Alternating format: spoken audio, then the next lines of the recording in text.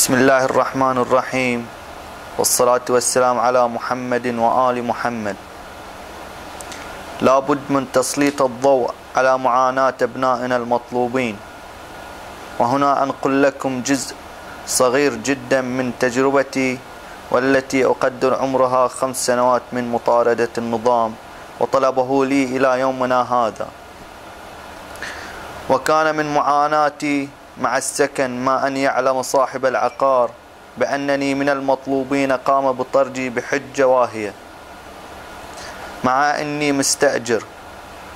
وللأسف الشديد يندر وجود عائلة ترحب بك كمطلوب يحتاج إلى مأوى بسبب أن وزارة الداخلية تخوف الناس في هذه المسائل. ومن معاناتي ومن معاناة العائلة تم مداهمة المنزل أكثر من 15 مرة. وتهديد والدتي وأخواتي أن أسلم نفسي مبنى التحقيق مبنى التعذيب التحقيقات.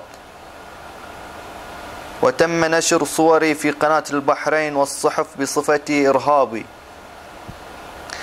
بسبب تعميم التعميم بالقبض في نقاط التفتيش والوزارات الحساسة لا نستطيع العمل لتوفير المال لتغطية احتياجاتنا اليومية البسيطة كالمأكل والمشرب والعلاج.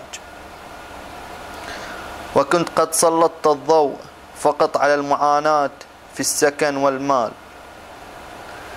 خلاصة رسالتي إلى شعب البحرين المؤمن أن يحتضن المطلوبين بما يستطيع.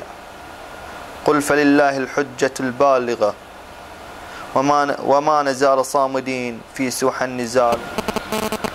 أستذكر لكم أحد معاناتي التي كنت فيها مطارد كنت في أحد الشقق السكنية وكنت مستأجر لوحدي. وجاءتني مضايقات من مالك الشقة. بعد أن علم أني مطلوب للنظام. وتم طردي وحينها بقيت بقيت بلا مأوى ولا ملجأ عن عين النظام الفاقد للشرعية.